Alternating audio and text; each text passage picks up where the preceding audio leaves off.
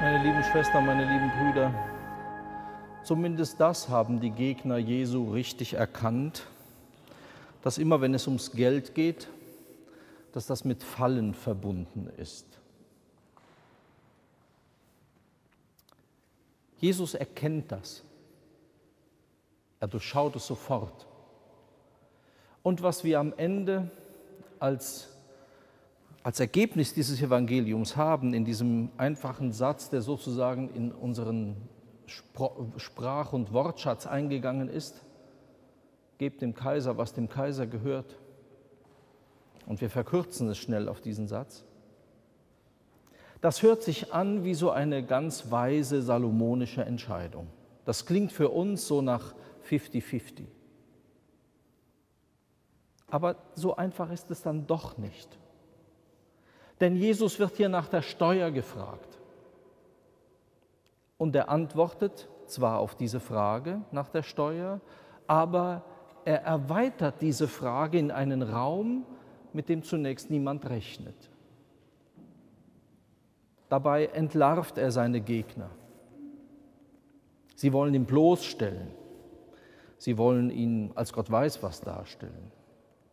Aber wer hat die Münze mit dem Abbild des Kaisers, der sich als Gott verehren lässt, mit Tiberius und auf der Rückseite ist seine Mutter dargestellt mit einem Palmzweig und dem Pontifex Maximus aus Rom, diesem alten heidnischen Titel. Wer hat diese Münze in der Tasche? Mit einem heidnischen Götzenbild? Es sind seine Gegner. Das ist das Erste, was sie verunsichert. Aber das Zweite, was sie wirklich entlarvt, ist, dass Jesus diese Frage nach der Steuer ganz anders beantwortet, indem er sie öffnet. Man würde also besser übersetzen, statt gebt dem Kaiser, was dem Kaiser gehört und Gott, was Gott gehört, gebt dem Kaiser, was dem Kaiser gehört, aber noch viel mehr Gott, was Gott gehört. Was heißt das für uns? Man kann unterschiedliche Schlüsse daraus ziehen. Der erste ist sicher, und damit ist die ganze Tradition des Neuen Testamentes deckungsgleich, vor allen Dingen auch Paulus, dass es für Christen in ihrem Verhältnis zum Staat, dass das nicht immer reibungslos und einfach ist, aber von Jesus ausgehend, der kein Sozialrevolutionär ist, der nicht zum Widerstand, gar zum offenen oder verdeckten gegen die Römer aufruft. Die Obrigkeit ist sozusagen zu unterstützen, weil sie dem sozialen Zusammenhalt dient. Das ist etwas, was wir heute manchmal in heftigen Diskussionen, die wir derzeit führen, auch in unserer Gesellschaft, schnell vergessen. Das findet erst seine Grenze dort, wo der Staat sich selber vergöttlicht oder vollkommen absolut erklärt. Das ist für Christen nicht mehr möglich, diesen Weg mitzugehen. Aber ansonsten, gebt dem Kaiser, was dem Kaiser gehört. Der Zielpunkt dieses Satzes ist, dass der Aufbau einer Gesellschaft, in der Christen ihren Beitrag zu leisten haben. Deshalb kann niemand einfach von uns entscheiden, da steige ich jetzt aus. Obwohl das viele stillschweigend tun. Etwa schauen wir die Wahlbeteiligungen an. Das ist immer ein Auf und Ab. Viele Menschen nehmen ihr Recht, ihr Freiheitsrecht dazu nicht mehr wahr.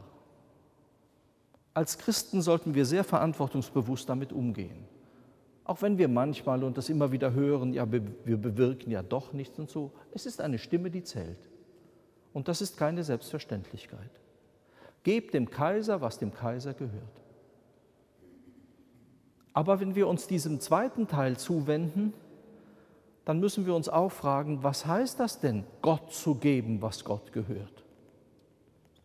Gibt es denn etwas, das Gott nicht gehört? Die Auslegung der Väter und bis ins tiefe Mittelalter hinein hat diese Stelle eigentlich mit ihrem Schwergewicht auf dem zweiten Ende immer richtig verstanden. Wenn sie davon spricht in vielen Gebeten, und wir finden noch einen Nachklang in der Bachkantate zu dem Sonntag, wo dieses Evangelium gelesen wird, wenn das dort in einer Arie heißt, lass mich selbst die Münze sein, mit der ich dir zurückzahle. Das heißt, wir sind als Christen von Gott geprägt, wie eine Münze. Und daran muss gearbeitet werden. Eine Münze wird nicht durch Besprechung einfach, bekommt sie ihre Gestalt auch ihre Schönheit, sondern durch Prägung. Es ist ein Metall, das man bearbeiten muss. Und wir sind manchmal genauso widerständig wie ein solches Metall. Lass uns selbst die Münze sein, die wir dir zurückzahlen können. Das heißt, unsere ganze Lebensgestalt soll so ausgeprägt sein, dass man an uns den Schöpfer erkennt. Den erkennt, der unser Herr ist. Den erkennt, dem alles gehört.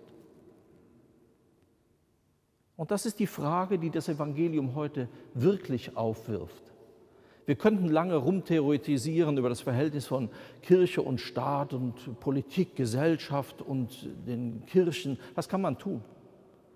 Was dabei oft zu kurz kommt, ist das Schwergewicht, das Jesus hier setzt im Evangelium. Gebt Gott, was Gott gehört. Und das sollte sich jeder und jeder von uns fragen. Gebe ich Gott, was ihm gehört? Lebe ich so, dass ich als sein Abbild erkennbar bin? Dass ich ein, eine Ikone Gottes werde, wenn man so will? Ein Abdruck seiner Wesenheit, wie wir das von Christus bekennen, wie das Paulus so oft schreibt. Er ist der Abglanz des Vaters. Wir könnten das auf uns erweitern. Und da müssen wir natürlich manchmal die härteren und prägenden Instrumente ansetzen, die wir brauchen. Immer wieder sich jeden Tag neu unter das Wort Gottes zu stellen. Unsere eigene Identität dadurch zu finden, dass wir uns im Gebet auf Gott ausrichten und dass man uns an unserem Handeln erkennt. Dass wir weitergehen und das Evangelium sagen, wie es uns heute der Weltmissionssonntag in Erinnerung ruft. Aber wir sehen auch, wir brauchen selber jeden Tag die Verkündigung des Evangeliums. Wir sind nicht mehr in dieser hochmütigen Position, dass wir in die Welt hinausziehen und sagen, wir bringen euch jetzt etwas. Das auch, das tun alle Christen. Und das ist der Auftrag aus dem Evangelium. Aber mit zunehmenden Jahren erkennen wir doch, wir haben es selber nötig, was wir Mission und Evangelisation nennen. Prägung durch das Wort Gottes, Prägung durch die Wirklichkeit, die wir in der Taufe empfangen haben. Es liegt an uns, ob dieser Satz, den uns Jesus heute am Ende sagt, gebt dem Kaiser, was dem Kaiser gehört, aber noch viel mehr Gott, was Gott gehört, auch heute hier bei uns Gestalt gewinnt und dadurch prägende Kraft.